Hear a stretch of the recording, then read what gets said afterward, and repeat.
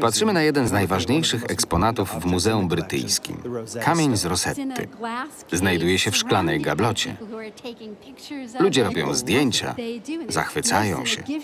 Są upominki, można kupić miniaturę kamienia lub plakaty, kubki i wycieraczki. Kamień ma ogromne znaczenie historyczne. Pozwolił nam zrozumieć, przeczytać, przetłumaczyć hieroglify.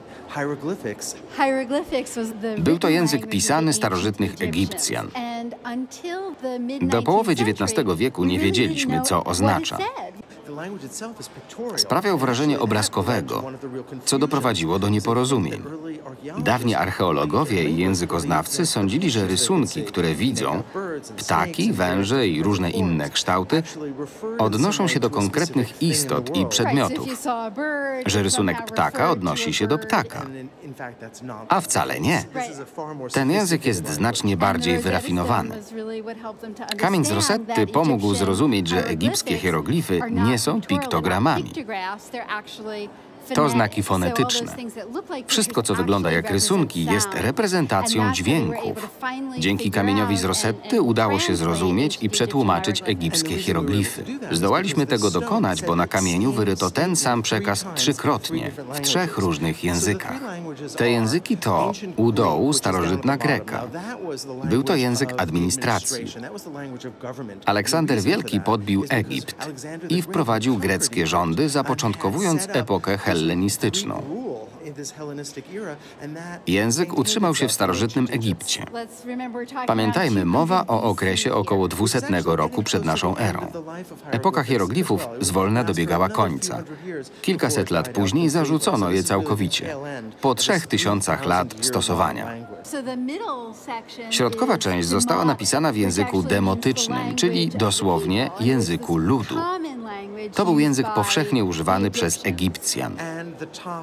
U góry natomiast znajdowały się święte znaki, czyli hieroglify.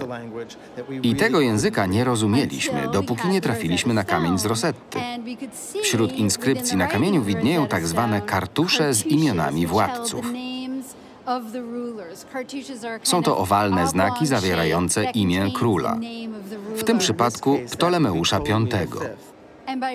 Rozpoznając jego imię w trzech różnych językach, zaczęliśmy rozwikływać hieroglify. Zajęło to dziesięciolecia. Niezmiernie trudne zadanie. Nie powiedzieliśmy jeszcze, jak znaleziono kamień. Napoleon miał wojska w Egipcie. Zabrał tam ze sobą, można powiedzieć, archeologów. I jeden z tych towarzyszy Napoleona natknął się na kamień z Rosetty. Kamień stanowił element muru twierdzy. Oczywiście stał w starożytnej świątyni, czy raczej tuż przy niej.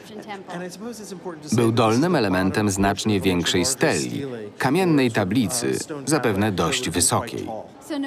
Zabrał go Napoleon. Ale zaraz, nie jesteśmy w Luwrze, tylko w Muzeum Brytyjskim. Co się stało?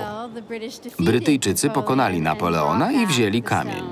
Rok czy dwa później, w 1801 lub drugim, umieszczono go w muzeum, gdzie już pozostał. Wciąż cieszy się popularnością.